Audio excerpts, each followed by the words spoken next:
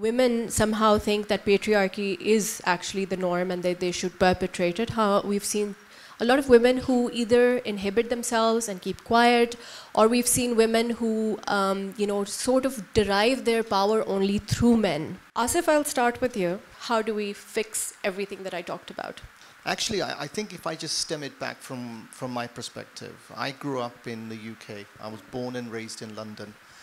I, I didn't see any prejudice. I didn't see black, white, female, male, gay, lesbian, old, young, disabled. I didn't see any of that. Because actually, everybody is a factor of production. What can you deliver for me? And my view was I didn't see male, female, whatever, tall, short. I don't see that. I see here's the objectives and what are you going to do to achieve them and I have to give that equivalence to everybody in order to be judged on merit alone. Meritocracy is what must prevail. If it prevails in your exams, it must prevail outside. So we've put in females into more of the organization, into some of our more remote areas, and I've had no issues other than actually it's worked really well for me, and I'm a bit upset I can't do it faster and can't do it more. So what are some of the you know, advisory, because I know GSMA does a lot of policy advisory, for women to change that mindset to change the the system as well. It begins at a young age. If you have to mentor a, a young girl exposure to technology okay? Um, exposure to all the management skills. So we uh, gsma also has um, uh, a tool training toolkit for all these young girls and even working women who want to take uh, some input from in there. It's available online as well. One is that uh, while you are growing up exposure to that uh, second is um, acceptance in, um, in obviously the society, but you know, otherwise it, it comes from the mindset of, um, you know, where you are working, the, uh, the culture of the organization that you are going to, obviously, and the culture of your uh, household too. What did you do for that toolkit for your daughters? What do you make sure that they get? Study as much as you can, do whatever you're interested in. And actually, we've been putting in that culture from a very early age. That was drummed into me by, by my father. I was a brother to three sisters.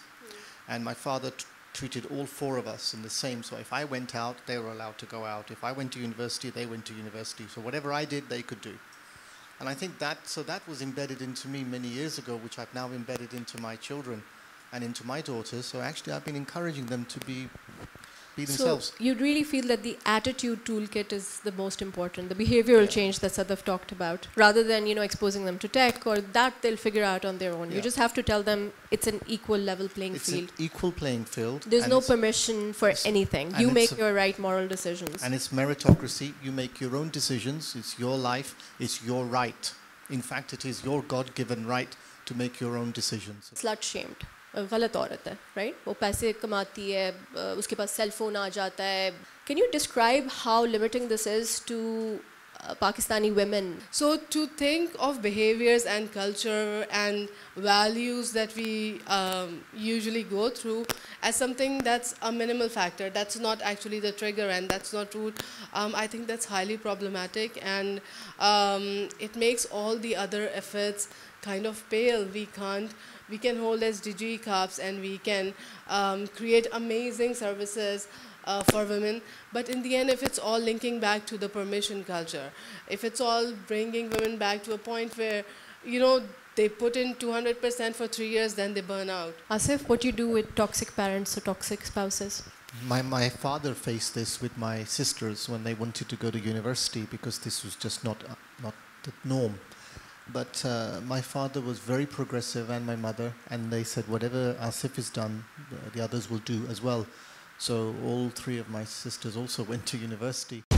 दुनिया को बता दो